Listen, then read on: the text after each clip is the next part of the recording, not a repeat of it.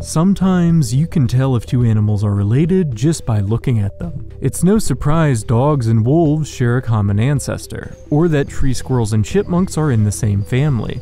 But occasionally, two different species share a relation which stretches the mind. So, for this entry into the archive, let's take a look at the animals you'd never guess would show up to the same family reunion. To start off, we have rhinos and horses. Just looking at the multi-ton leathery rhino, you might sooner guess it's the cousin of the elephant or hippopotamus. But despite appearances, horses are much closer relatives to these giants. How is this possible?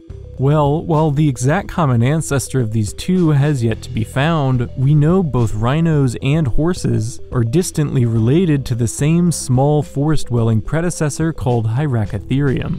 The genus lived during the Eocene period. I've got more on them and other tiny early mammals in another video, but today the hulking rhino and majestic horse have clearly gone in different adaptational directions. Despite this, both species still belong to the same larger category, the odd-toed ungulates, a classification which also includes the tapir. That's right, there's a third branch in this family tree. The tapir is a squat, somewhat odd-looking herbivore with a short trunk like an elephant for grasping at food, despite also having little relation to actual elephants. Looking at these three side by side, they hardly look similar, but that's the funny thing about adaptation.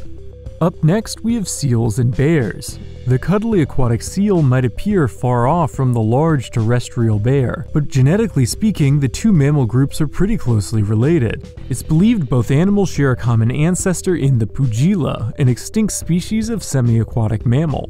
Over the course of millions of years, some members of this ancestral species spent more and more time in the water and became the almost fully aquatic group we now recognize as seals today. The other remained mostly on land and became larger, heavier, and more diverse into the various modern bear species we're now familiar with. But biologically speaking, the two are still cousins. Continuing on, we have the hippopotamus and the dolphin. The four-limbed heavyset hippo and the sleek, flippered dolphin might seem like total opposites at first glance, but like many of the other pairs on this list, they share a common ancestor. The two groups split off around 60 million years ago, and the group that eventually gave us the dolphin, the cetaceans, also includes all species of porpoises and whales, meaning the whale and hippopotamus are, incredibly, also related. What a curious lineage. Next, we have the elephant, which, as we've already established, isn't as closely related to other African megafauna like rhinos or hippos as you might expect. So, what are the closest living relatives of the largest land animal on planet Earth? The rock hyrax, a species of tiny rodent like mammals,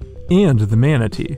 At the very least, manatees are a hefty, leathery group of animals, so you can somewhat see how such a species might be related to the elephant. But the tiny, furry rock hyrax seems like quite the odd relative to the heaviest thing on the African savanna. Part of how we know the two species are related is the makeup of the hyrax's front teeth is actually similar to that of an elephant's tusks. Indeed, the two species only diverged around 65 million years ago, which isn't that impossibly long on an evolutionary timescale pretty interesting. Moving on, we have the echidna and the platypus. While these two don't look alike, they are perhaps the most made up seeming organisms alive today, so it kind of tracks they'd be related. Both groups are the only mammals currently living which lay eggs. Even stranger, however, the platypus is able to detect electric fields with its bill, and has venomous elbows. Like the platypus, the echidna can also detect electric fields through its snout, which is part of what links the two mammals to each other. What an incredible pair! Nearing the end, we have the giraffe and the pronghorn antelope.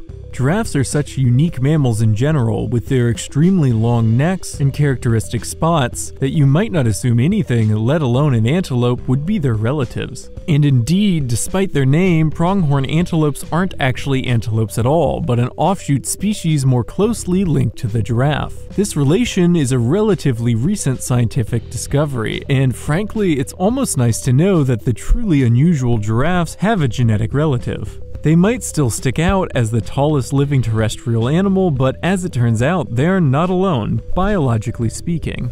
And at the end, we have jellyfish and coral.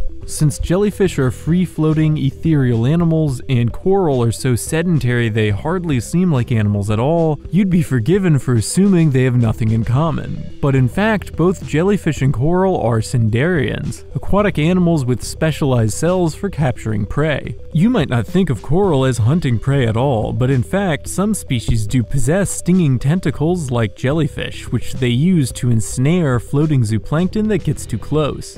Indeed, some coral have even been observed consuming jellyfish, which seems quite surprising. I wonder if they know their family. And that's the end of our analysis of animals you might not have known were related. If you enjoyed this entry, please lend your support and like, subscribe, and hit the notification icon to stay up to date on all things curious. See you in the next video.